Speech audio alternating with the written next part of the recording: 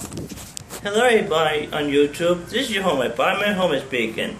This is the sixth Lenormand tutorial video. If you haven't watched the previous five videos already, I suggest you should watch them now. Otherwise, let's continue. Today, I will discuss the Lenormand cards number 21 through 24. Let's begin, shall we? Okay, our 21 card for the Lenormand is the Mountain. This card means that you will suffer obstacles in a very bad way. Since this card is negative, it affects the surrounding cards. Our 22 card for Lenormand is the Ways. This card means that, that you'll be making decisions and choices into your life. Since this card is neutral, this, could go, this card could go either way, whether it's good or bad.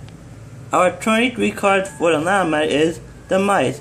This card means that you will suffer small and minor problems into your life. Since this card is negative, it affects the surrounding cards. Our 24th card for the Lenormand is the Heart.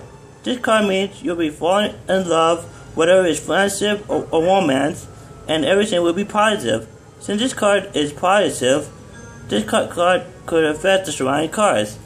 So anyway, I hope you enjoyed this tutorial video. So anyway, this is your homemade Barman and now peace.